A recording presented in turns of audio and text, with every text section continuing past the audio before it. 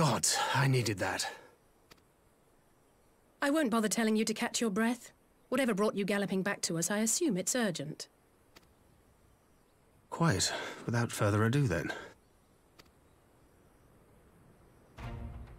After the successful uprisings in Doma and Ala Mhigo, rebels in several other provinces were inspired to follow suit.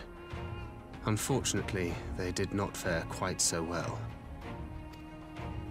The Dalmascans paid the heaviest price. For their defiance, the Emperor made a show of razing their capital to the ground, prompting many of their neighbors to abandon thoughts of resistance.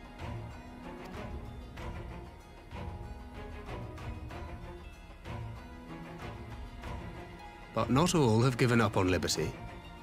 Heartened by the news of Doma's prisoner exchange, some still believe that the Empire may one day be amenable to negotiation.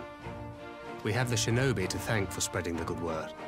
They have worked tirelessly to keep the subjugated informed, and a little knowledge can go a long way. There is at least a spark of hope, then. A spark in want of kindling, yes. The Alliance has already begun supplying materiel to resistance movements abroad, many of whom would otherwise struggle to continue the fight. The support effort has been led by the Sultana and the Elder Seedseer, who have both seen enough Ala Mhigan refugees to know the consequences of oppression. And for their troubles, they have quickly earned a reputation as folk heroes in certain corners of the Empire. That is all for the provinces. As for the Garlean motherland itself, our friends the Populares have suffered something of a setback, I regret to say. Talk is rife that Doma has summoned a primal, and the Empire's more liberal voices are being drowned out in the fearful clamor for retribution. And who do they think orchestrated this summoning? Oh, any but those truly responsible. Zenos has seen to that. Speaking of whom, the Crown Prince is recovering remarkably well. Well enough, in fact, to enable him to personally tour the provinces, putting the fear of the Emperor into the hearts of any would-be dissidents. He walks in plain sight, and none suspect him. Then it's as we feared. Yes. An Ascian wears his skin.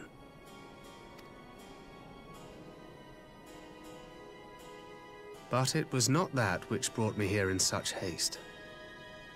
During my time in the provinces, I learned many things. Yet at no point did I hear any report of a Doman emissary in the capital. But Alphinaud should have arrived by now. Could they be holding in there in secret?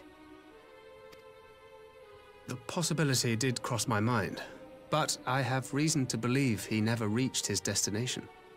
As you know, Scions assigned to covert operations, such as Riol and myself, are issued special link pearls for communication in the event of an emergency.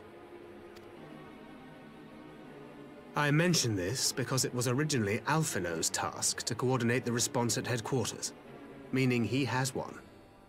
And whose voice should I hear when mine recently crackled to life? You spoke with Alphinaud? Spoke with, no. I but heard his voice, and none too clearly at that. Two words were all I could make out. The burn. The wasteland on the edge of Othard. Something must have happened to them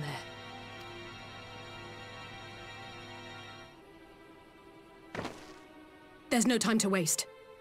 We must make for the burn at once. I had a feeling you might say that.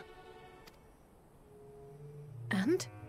I can't very well sit around here drinking tea if Alphinaud's in trouble. You said yourself that this link pearl was only to be used in emergencies. So I'm going, and that's the end of it.